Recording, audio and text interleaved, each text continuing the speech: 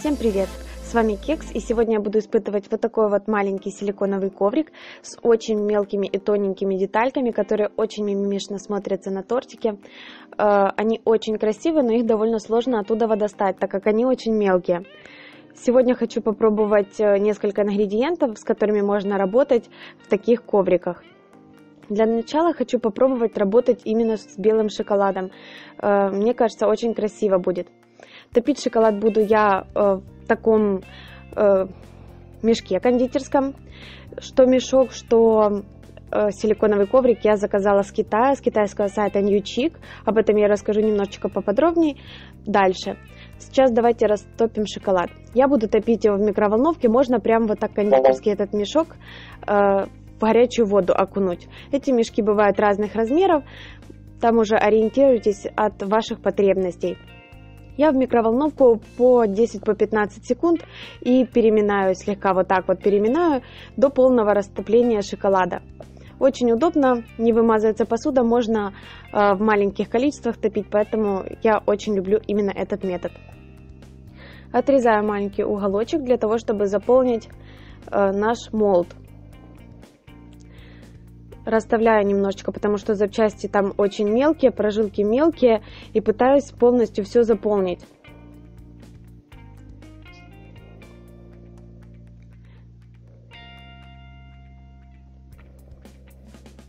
Аккуратненько наполняю полностью и убираю лишний шоколад. Теперь шоколад я уберу в холодильник, либо в морозильную камеру до его полного остывания и попробую достать из молда и посмотрим, что у нас получится именно из белого шоколада и как он будет доставаться из этого коврика.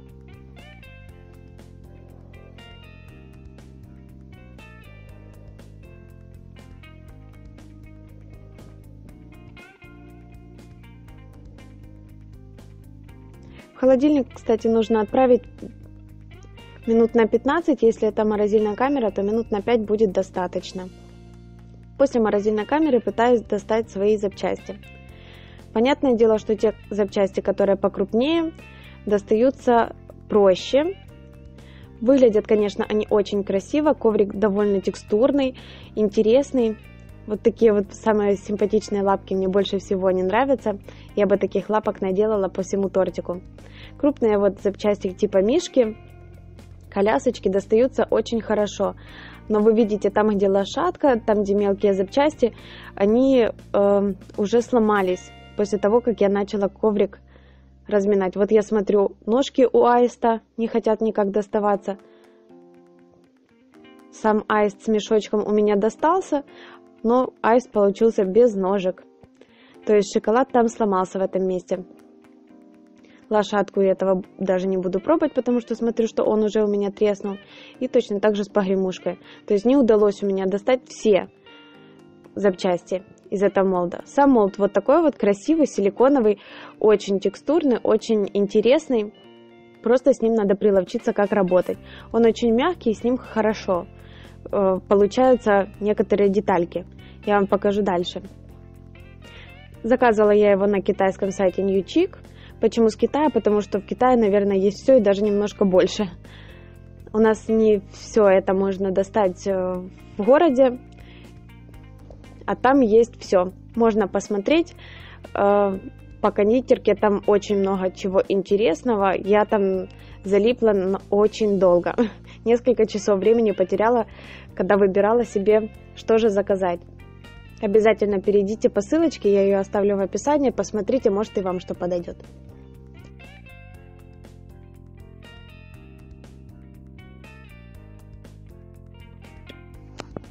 Здесь я буду использовать смесь для гибких кружев. Этот рецепт я уже показывала. Кто не видел, обязательно перейдите по ссылочке, ее я оставлю в описании. Посмотрите. Я думаю, вам будет очень интересно. Смесью я наполняю полностью. Удобно здесь работать либо кредиткой, либо если есть специальный шпатель мягкий. Я вот привыкла уже такой маленькой кредиткой работать. Скидочная карта, точнее, у меня. Очень удобно в нее как бы заталкиваем нашу смесь для гибких кружев. Хорошенько растираем мы как бы вдавливаем туда, чтобы у нас э, все пустоты заполнились внутри, чтобы текстура была хорошая. Не пренебрегайте этапом именно, чтобы вдавить хорошо эту смесь внутрь во все ячеечки. Убираем также излишки, чтобы они у нас не оставлялись на наших картинках. Самое проблемное в этом коврике это булавочка, потому что она самая тоненькая, самая маленькая, поэтому она нигде и ничем не хотела доставаться. Шоколад я несколько раз не пробовала, и отдельно саму, и никак. Далее я отправляю эту смесь подсыхать в духовку при температуре э, до 100 градусов на 8-10 минут. Просто пробую, чтобы наша смесь сверху стала сухая. Она не должна пересохнуть, иначе будет крошиться. И потом оставляю еще при комнатной температуре остыть, э, потому что там в составе пектин, чтобы он схватился минут на 10. И пробую доставать. Достается довольно хорошо. Они мягенькие, поэтому они не рвутся. Я даже очень удивлена, что оно так хорошо отходит. Пробую аиста, который из шоколада не получился. И о чудо, аист у меня наконец-то с ножками и с клювом. Все как положено. Единственное, что он у меня такой синий, просто это у меня уже остатки э, этой смеси были синего цвета. Вот такой вот аист у меня получился. Я думаю, он очень симпатично будет смотреться в каком-то бежевом цвете, в каком-то более нежном.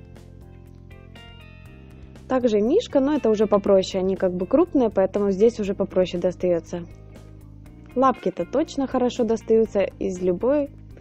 И здесь достается и булавочка, и лошадка.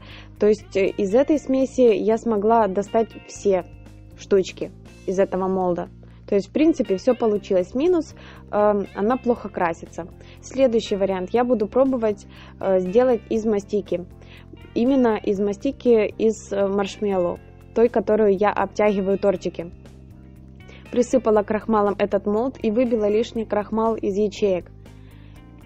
Нужное количество крахмала само пристает там внутри в этих ячеечках. Подтопила в микроволновке мастику для того, чтобы она стала довольно мягкая и чтобы хорошо у меня туда залазило в эти ячейки. И как бы тоже пальчиком втрамбовываю во все ячейки свою мастику. Вы видите, мастика мягкая, поэтому слегка пристает к пальцу.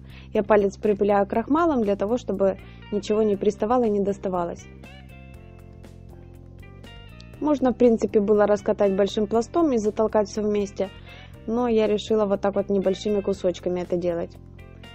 Теперь нужно будет срезать лишнюю часть, которая у нас сверху, острым ножом. У меня это такой ножик типа пилы, очень мелкой. Ним мне резать очень удобно. Еще раз прохожусь пальчиком, чтобы все заполнилось у меня внутри. И вот так вот прижимаю пальчиком сверху, аккуратненько срезаю стараясь не сдвинуть внутренний рисунок, чтобы лишнее не срезать, потому что добавить потом туда сложнее. Но все равно возможно. И аккуратненько срезаю лишнее. Убираю, где у меня там чуточку досталось, добавляю, еще раз утрамбовываю. Я думаю, вы уже сталкивались с этим, когда делали какие-то крупные молды. С крупными молдами намного проще работать. Здесь именно фишка в том, что мне нужен был именно вот такой вот маленький молд с очень красивыми запчастями, которые на боковушке тортика будут смотреться очень мило, на каких-то пирожных для детских праздников. Очень красиво. Вот что у меня в общем получилось. Теперь смотрите, я отправлю эту смесь в духовку буквально на пару минут для того, чтобы молд разогрелся и мастика стала мягкая. Э, она расширяется, потому что это маршмеллоу мастика, и э, заполняет все внутри пустоты, так сказать. И потом отправляю ее в морозилку минут на 10, для того, чтобы она после этого у меня хорошо схватилась. И пытаюсь достать. Хочу сказать, что из мастики получаются самые рельефные и красивые фигурки.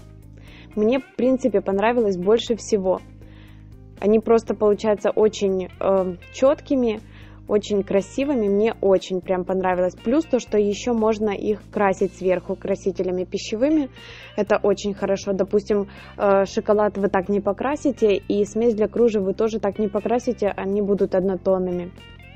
А вот мастичные будут прекрасно краситься. Единственное, вот э, булавочка все-таки так и не достается у меня из мастики. Все же она ломается. И ножки у аиста тоже отлетели. А все остальное досталось превосходно. Очень четкий, очень красивый рисунок.